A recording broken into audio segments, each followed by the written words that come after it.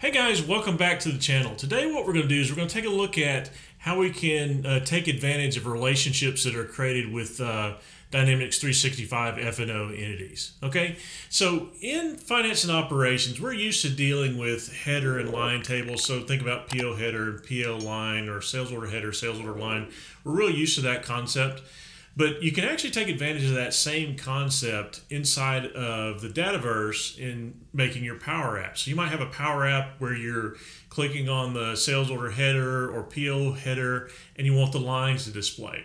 So there's already built-in relationships that Microsoft has given us to work with to make that happen and it's really easy to use them if you know how, right? So let's go ahead and take a look at what I'm talking about here. So if we go into, um, I'm in the make.powerapps.com. If I go ahead and take a look at the tables, and the table what we're going to look at today is the sales order header table. So in, I am using virtual entities here. So um, everything's all my tables are going to uh, have MS or ERP in them. So I'm going to type in MSERP in the search to kind of look for my, my table name here.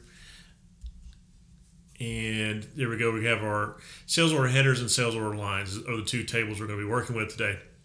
So if I go ahead and click on the sales order header and then go over to relationships, one of the things you might want to do when you first come in here, if you don't see the any relationships in here, come up here. A lot of times it, it, it's def, it defaults to default, of course.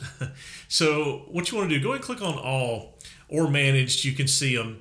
But on most of the entities, on the headers or the lines tables, you'll see that there's a relationship that's been created um, between the sales order headers and the sales order lines, and it's a one to many. So what that means is there's one sales order header and there's a lot of sales order lines. Okay, so you think same thing if you think about PO header, you got one PO header and then a bunch of lines or you might have many to one is another type of relationships where you have a bunch of one type of record and then one type of another record okay? Just or the reverse of that is you know if you have um, one uh, a bunch of sales order lines going to one sales order header okay? So we can take advantage of this in our in our app here. So if we go in if, let's go and create just a, a blank canvas app here. We'll go new and do a canvas app. And what i'm going to do is i'm just going to kind of join two um, two galleries together. So again, using the example of we may have a sales order header, you click on the header and then we want to display the different lines here, okay? And I will warn you that this app's not going to be pretty. It's just for demonstration purposes, so it's not going to be that pretty. But uh, so let's go ahead and use a, a tablet layout here. We'll let that open up. All right, so what I'm going to do here is the first thing is I'm going to add a gallery to this, and I'm going to add a vertical gallery. And I want our gallery just to kind of sit over here on, on the side of the screen here. So again, I'm not going to worry about making this really, really pretty or anything. I'm just going to kind of create two galleries here. And our data source on this one is going to be our, our sales order header. So let's go look for sales order headers. There we go. And what I want on here, just for demonstration, let's do uh, do title and subtitle. And let's see, we'll make the title the uh, sales order header is fine, and then we'll, we'll come down here and we'll use, um, I don't know, we use put the name on there or something here. Oop, closed up there after it refreshed. Go ahead and put the name name on there. Most most of the sales orders should have some sort of name on it, and this it's refreshing. If you see the dots going across the top, it'll refresh in just a second. Okay, so on this side of our gallery, we've got a gallery that's got the different uh, sales order um, sales order numbers on it. Okay, and so there it just refreshed, and now we have our sales order lines as well. So let's go ahead and let's just kind of shrink this over. So if you imagine an app, so we, will add another gallery right here. So do another vertical gallery, and we'll slide this over here.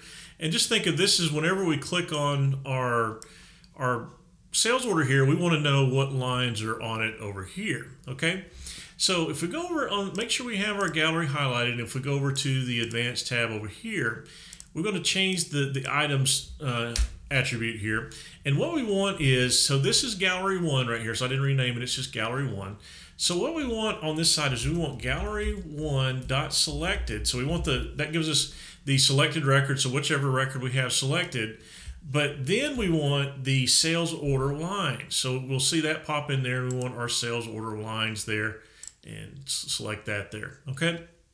So what that's going to do when this refreshes, I'm going to, to, going to add some extra fields here. Let's go ahead and, um, i know I'm going to need another field here. So let me go ahead and add another label in there for that as well. Nope, put it in the wrong place.